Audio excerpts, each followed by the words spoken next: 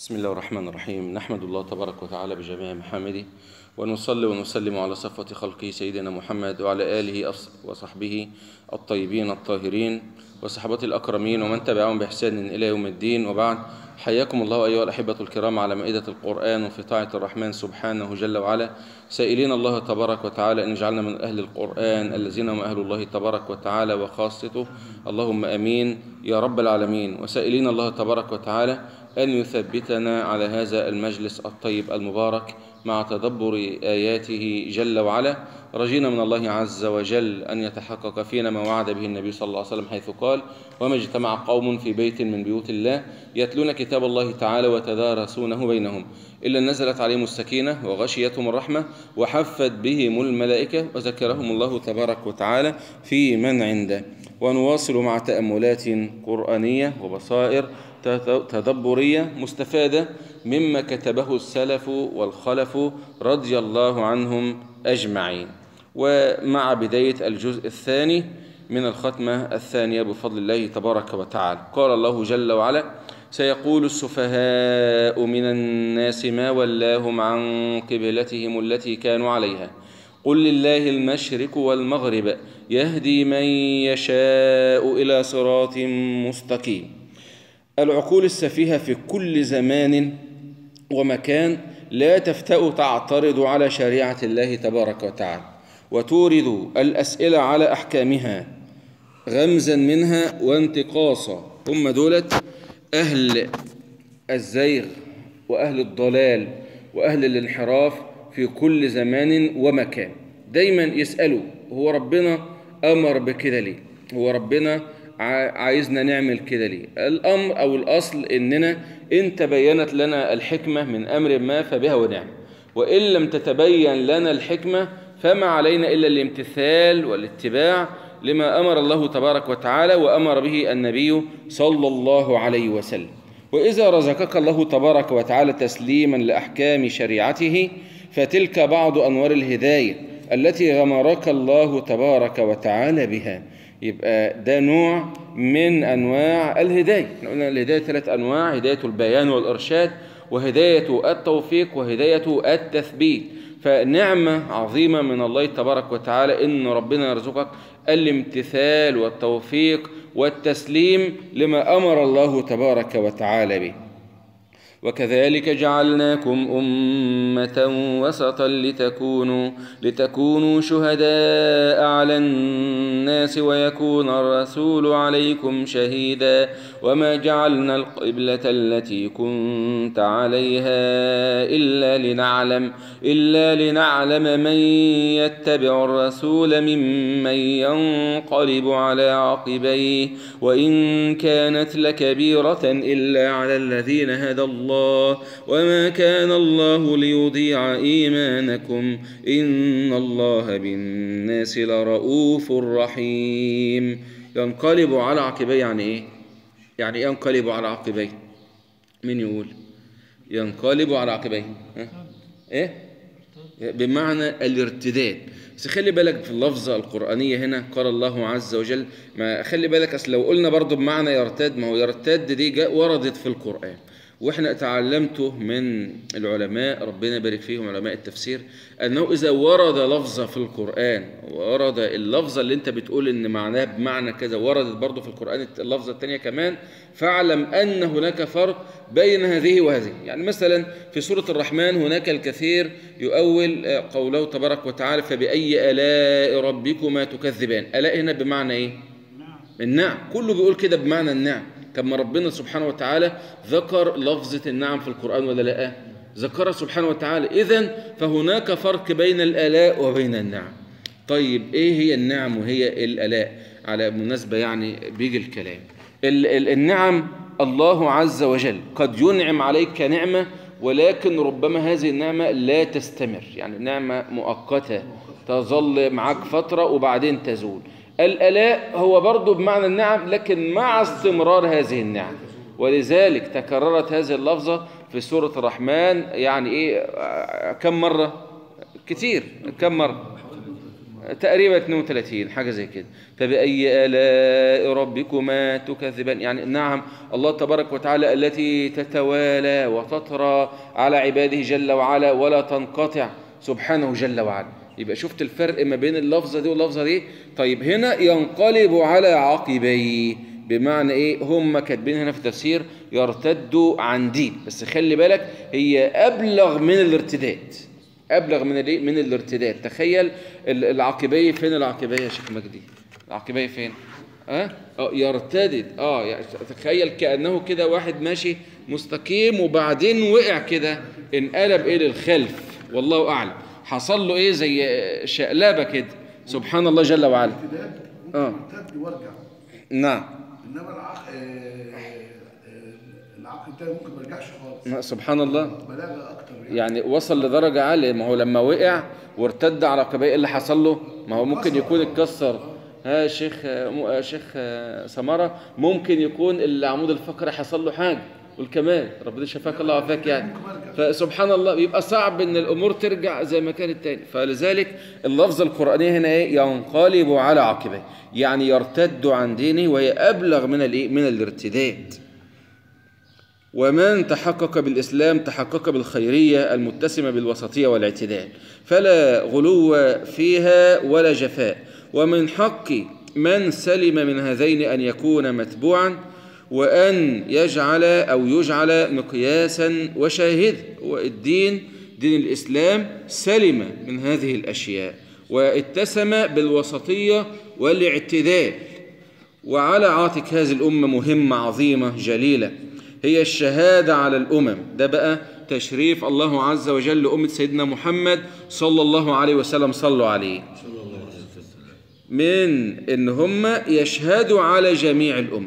وتكليفا من الله عز وجل وتشريفا. فما أحراها فما أحراها إيه؟ أن نكون أو أن نكون أنا وأنت أهلا لهذه الإيه؟ لهذه النعمة العظيمة في الشهادة على الأمم إشارة إلى تحذير المؤمنين من أن يزيغوا بعد الهدى كما زاغ الذين من قبلهم فتقوم عليهم الحجة كما قامت على أولئك.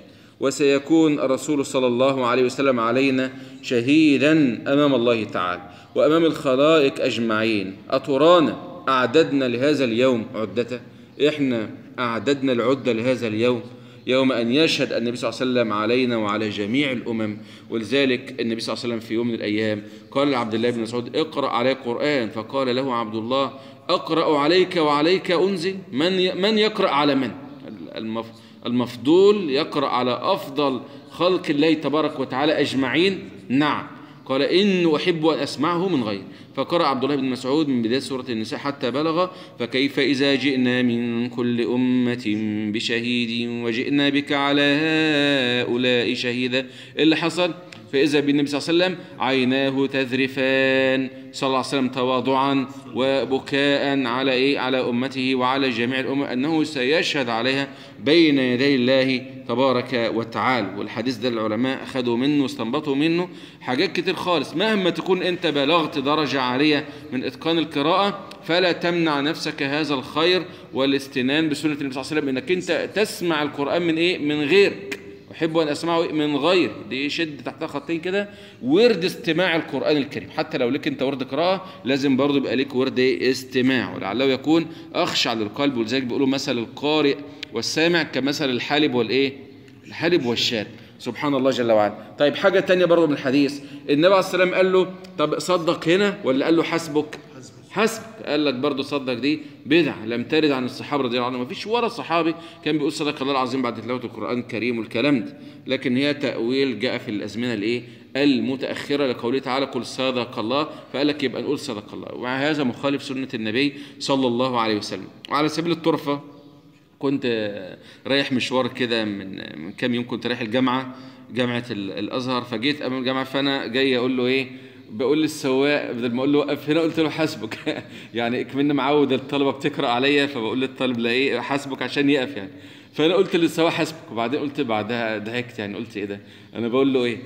فيعني سبحان الله لفظه بتكون يعني إيه اللسان متعود عليه. وسيكون الرسول صلى الله عليه وسلم علينا شهيدا أمام الله عز وجل. ومن حكمة تغيير الأحكام ابتلاء صدق الإيمان. فعلى العبد أن يكون عبدا لله حقا أينما يوجهه توجه. ومن هداه الله عز وجل عرف حكمة ذلك. وأدرك فضل التشريع في الحالين. وإن في تسمية الصلاة إيمانا تعظيما له وإذانا برتبتها العالية من الإيمان. ربنا سمى الصلاة هنا إيه؟ إيمان. طب اللي ترك الصلاة يبقى ده بقى الإيمان بتاعه عامل إيه؟ ها؟ يبقى كأنه ترك الإيمان. ترك الإيمان. ربنا قال وما كان الله ليضيع إيمانك سمى الصلاة إيمانا. لأهمية هذا الركن العظيم من أركان الإسلام الخمسة إقامة الصلاة. ولا تقلق فإنه لا يضيع عند ربك تبارك وتعالى من عملك شيء. كيف وهو الرؤوف الرحيم؟ وإذا كان الابتلاء يعني مظهر حكمته تبارك وتعالى فإن اجتياز البلاء فضل رحمته تبارك وتعالى. قد نرى تقلب وجهك في السماء. ربنا شايفه مطلع ولا لأ؟ وانت بتوجه نظرك هنا وهنا وبتبص هنا وهنا. ربنا شايفك وعارف إيه اللي بيدور في تفكيرك من جوه. سبحانه جل وعلا. خلي بالك إن عليه السلام لم يطلب من الله عز وجل ولكن الله تبارك وتعالى اطلع على ما في قلب الحبيب صلى الله عليه وسلم فاستجاب الله تبارك وتعالى له. ولذلك يعني إيه؟ من شغله. ذكر الله تبارك وتعالى عن المسألة أعطاه الله عز وجل أفضل ما يعطي السائلين. انت بتفكر في حاجة جواك وحاجة شغلاك بس انت طائع لله عز وجل. ذاكر الله تبارك وتعالى الله عز وجل يستجيب لك بدون من أن تطلب سبحانه جل وعلا. فلنولينك قبلة ترضاها فول وجهك شطر المسجد الحرام وحيث ما كنتم فولوا وجوهكم شطرة وإن الذين أوتوا الكتاب ليعلمون أنه الحق من ربهم وما الله بغافل عما يعملون. أنعم به من أدب مع الله عز وجل من صاحب الخلق العظيم صلى الله عليه وسلم. فإنه لم يسأل ربه تحويل القبلة إلى الكعبة مع تشوفه صلى الله عليه وسلم إلى ذلك وشدة رغبته أو تشوقه إلى ذلك وشدة رغبته واكتفى بالانتظار. إن الله عز وجل ليطلع على رغبة عبده وصدقه في أمر من أمور الخير. فيفتح له أبوابا واسعة إلى ذلك الخير ويحقق له ما يرضاه سبحانه جل وعلا. أمر الله عز وجل النبي صلى الله عليه وسلم بالتوجه شطر الكعبة ثم أتبعه بأمر المسلمين كافة بذلك حيث كانوا. وهذا من كمال التعليم والتوجيه دفعا للإهام ومنعا لورود الاحتمال وهي قبلة واحدة. تجمع هذه الأمة من أقصاها إلى أدناها وتوحد بينها على اختلاف أعراقها وأجناسها فتحس أنها جسم واحد تتجه إلى هدف واحد وتسعى لتحقيق منهج واحد. يعني الأمة كلها بتتوجه إلى الكعبة يبقى الهدف بتاع الأمة كله هو هدف واحد. واستشعر تعظيمك للمسجد الحرام وأنت تتوجه إليه من بعيد وكأنك تتوجه إلى عين الكعبة من قريب وليزده عظمة في نفسك وصف الله عز وجل إياه بالحرام؟ ومن اعترض على من يعلم أنه الحق معه فلا مبالاة بقوله ولا أسف على مقالته مقولته وأمره إلى الله عز وجل الذي يجازيه على سوء عمله تبارك وتعالى. نسأل الله عز وجل أن يرزقنا زيارة الكعبة المشرفة وألا يحرمنا الله تبارك وتعالى من دخول هذا المكان بذنوبنا ومعاصينا. سبحانه جل وعلا. ولئن أتيت الذين أوتوا الكتاب بكل آية ما تبعوا قبلتك وما أنت بتابع قبلتهم وما بعضهم بتابع قبلة بعض ولئن اتبعت أهواءهم من بعد ما جاءك من العلم إنك إذا لمن الظالمين. هتلاقي كلمة العلم عليها كده لا. لا دي يعني إيه؟ يعني لا تقف ما تقفش هنا. لما تشوفها أوصلها باللي بعدها. ليتفطن المسلم إلى سبب مخالفة الناس لدعوته حتى لا يجهد نفسه في طريق غير مجديه وليقابل كلا بما يستحق.